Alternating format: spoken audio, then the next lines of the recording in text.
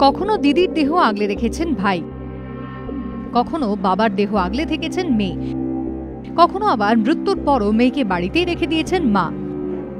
প্রাণের চেয়েও প্রিয়, মৃত্যু হলেও তাদের কাজ ছাড়া করতে না চাওয়ার মনোভাব থেকেই কি এমন অস্বাভাবিক আচরণ? মাসের পর মাস পড়ে থেকে বাড়ির মধ্যেই শরীর হয় কঙ্কাল, আর সেই কঙ্কাল আগলে বসে থাকা।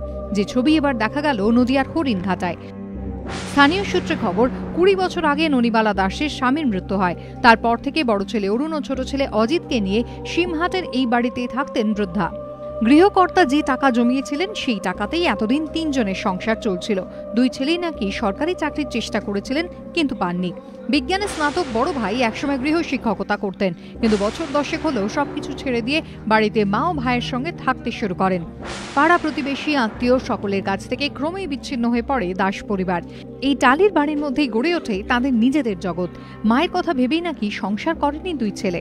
তাই মায়ের মৃত্যুর পরও তাকে ছাড়তে চাননি বছর পঁয়ষট্টির অরুণ এবং বছর ষাটেকের অজিত। যদিও পুলিশ সূত্রে দাবি, দুই ভাই তদন্তকারীদের জানিয়েছেন তাদের শারীরিক কিছু সমস্যা রয়েছে, তাই জানুয়ারিতে শীতের সময় মায়ের মৃত্যু হওয়ায় সৎকার নিয়ে চিন্তিত হয়ে পড়েন তারা। এরপরে দেহ চাদর দিয়ে ঢেকে দেওয়া হয়। কিন্তু কিছুদিন পর দুই ভাই দেখেন মায়ের দেহে পোকা ধরেছে। তাদের দাবি, এতে ভয়ে আর কাউকে কিছু বলতে পারেননি তারা। এভাবেই চলছিল। রহস্যে জবনিকা পরে রবিবার দুপুরে। উদ্ধার হয় কঙ্কাল।